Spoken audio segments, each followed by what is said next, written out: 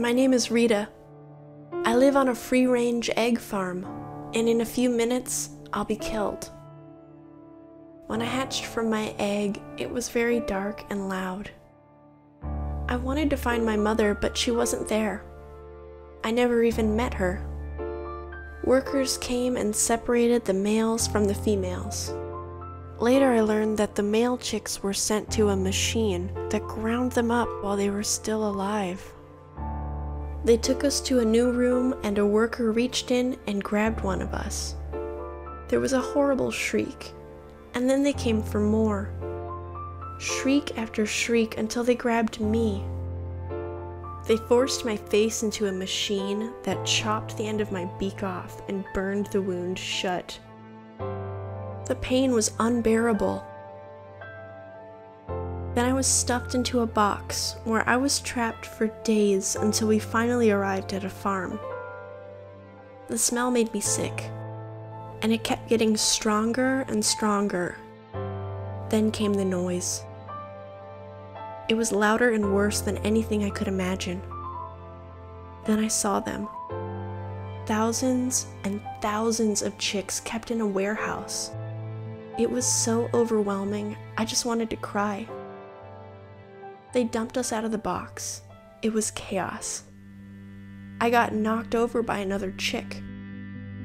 She explained that I was at an egg farm. She said, when we grow old enough, they collect our eggs and sell them to supermarkets. The older we got, the bigger we got, which meant the less room we had. Suddenly, it seemed like we all began laying eggs. The day I laid my first egg was the day they moved us into our permanent shed. Chickens were climbing all over each other. No room to move around. I needed to stretch my wings, but I couldn't. And it somehow got even louder than it already was. None of us got much sleep. It was hard to find enough room to lie down. Older chickens said no one makes it past two years old before dying or being taken away. Two years is too young to die, especially when we can live for over 10 years. But our environment was making us grow weaker and weaker. It became harder to lay eggs, but we kept trying because we were afraid what they would do to us if we stopped.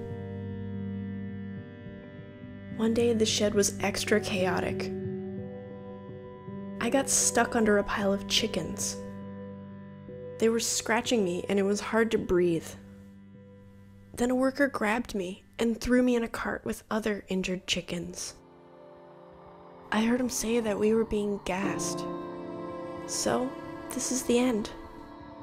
My lungs burned as the gas entered my body. Am one of more than 300 million hens that suffer in the US egg industry every year. Eggs are cruel. Please, don't support this industry.